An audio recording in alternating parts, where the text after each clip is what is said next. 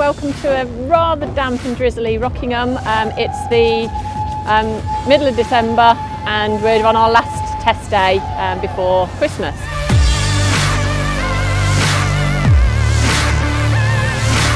Looking back at 2016 was a difficult year, um, didn't go quite according to plan. We had quite a lot of um, mechanical problems with um, brake issues at Brands, gearbox going at Croft uh, and electrical issues here at Rockingham. Um, but we were quite comfortable with our pace, so we were really pleased with the progress. So we're hoping to move up to the full Clio Cup um, in 2017, which is what I'm here testing at Rockingham. This is only my second day in the, the full Clio Cup and um, as I say, obviously it's a bit wet, a bit damp, so it'll be my first time on the Michelin wets as well. Uh, so it's going to be an interesting day. I'm here with uh, the Westbourne team, fantastic team.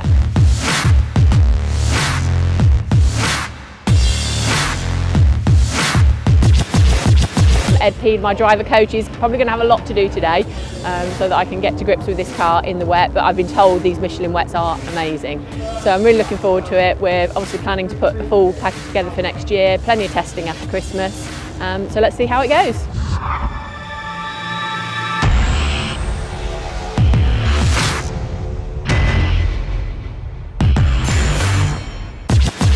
Okay, so we're nearly at lunchtime um, at Rockingham here. Uh, been out myself in the in the car. Um, it's very very slippy as Rockingham always is. Um, I've also managed to, to go out with Ed Peed, my driver coach, driving for me in the passenger seat. So I've got a bit of a better idea about how the car and what, what it can actually do. Um, it's an absolute mega car. Um, it's so different to what I've been driving this year. Obviously we've got the sequential gearbox the brakes are absolutely mega, the wets are really good, so I just need to learn how far I can push them. So hoping to build on that this afternoon and, uh, and see how it goes. So really happy with the day so far and the testing, so hoping to do some more of that um, beginning of next year so we can hit the ground running and have a great 2017.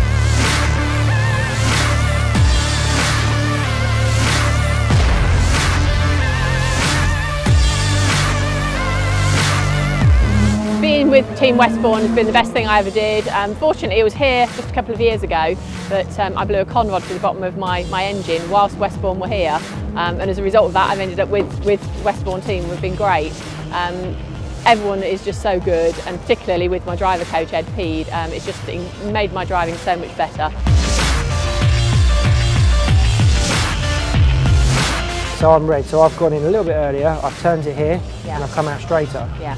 Yeah, because you're you see you're, you're using a big U, yeah. Yeah. That's that's no good because you can't really accelerate till here. Yeah. I'm accelerating from that cross. Um, I would always recommend that if people want to get better as, as a racing driver, the best thing they can do is get a driver coach. It's better than spending money on the car. It just makes such a huge amount of difference.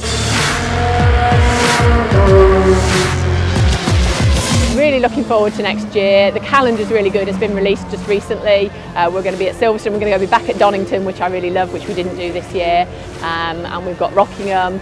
Um, so it's, it's going to be a great year. And we've got some TV coverage for the year, which is superb as well. Obviously, continuing to look for sponsors uh, through the year. We've got some uh, great packages that we can put together for people. So uh, I also want to say thank you for the sponsors that have been with me for 2016 and, and continuing with me next year, uh, particularly the Mobile Garage people um, and Campbell Nutrition and Flex Press. Um, and Blue Scarab Photography and uh, Corporate Motion, Dave Sinclair obviously, um, have all been fantastic sponsors for this year and uh, hopefully we can do bigger and better things next year.